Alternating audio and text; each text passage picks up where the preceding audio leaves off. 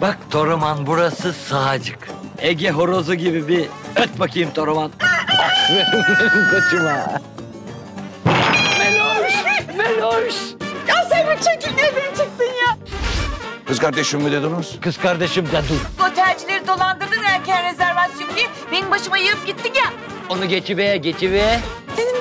İşin var ya? Nişanlıyız biz yani. Ya bana taktığın yüzün aynısını bu kıza da takmışsın. Semtimizin güzel kızlarında maşallah kapmışsınız. Sanki uzaylı istilası gibi ya. Tek yumrukla uzaylı yaparım seni ya. Yeah. Toraman, saldır Toraman.